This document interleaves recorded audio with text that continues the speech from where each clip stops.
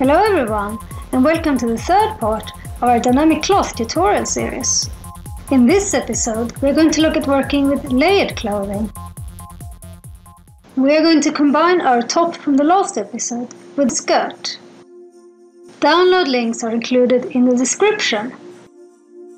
The skirt is also a simple untextured mesh that has been UV mapped if you wish to texture it yourself. Just like we did in the last episode, you can follow along using the clothing meshes we have included for Pauline instead.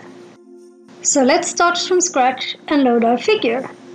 We will create an animation, like the one we did in the last episode. Let's use a different pose this time. Choose a pose for Victoria 4 and load it onto the last frame of your animation. Again, make sure that Victoria's limbs stay clear of her body during the entire animation. Before we load our clothing, let's make sure we have stopped the animation and are on frame 1. Let's start with the skirt. When we are draping cloth objects on top of each other, it makes sense to start with the one that is going to be underneath. Now we can switch over to the cloth room. And then we can repeat the usual steps. New simulation. Let's name it skirt cloth self-collision, clothify,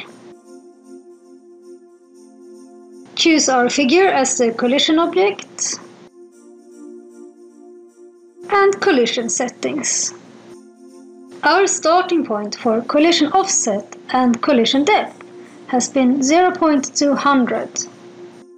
We can lower this to 0.150 for the skirt because it's going to be underneath the top and we want to reduce bulk as much as possible. Leave the dynamic settings at default again and calculate the simulation.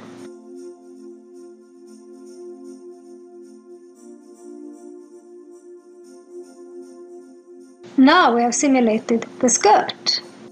So how do we simulate the top over the skirt? It is actually pretty easy.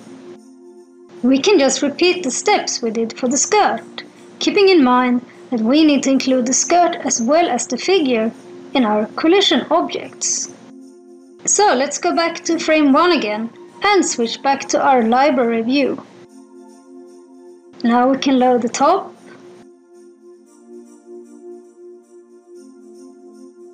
and go back to the cloth room. Now we can give the top its own unique simulation Let's name it top. Cloth self-collision. Clothify. Now we get to the step where there's a difference.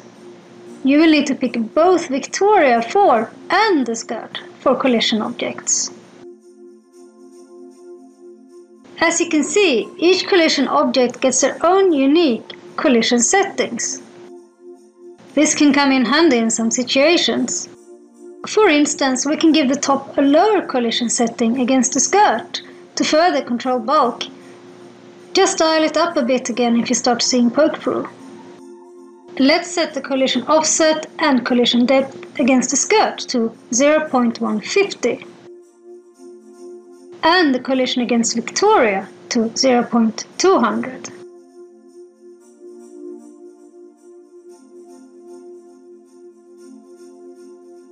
Leave the dynamic settings at default again and calculate the simulation.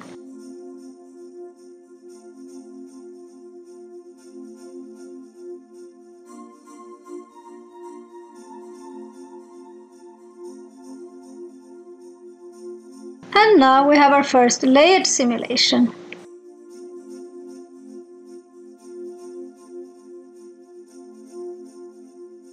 That's it for this time. Thank you all for watching. Make sure to look out for the next part in the series, which will be our first troubleshooting episode. Happy rendering all and see you soon again.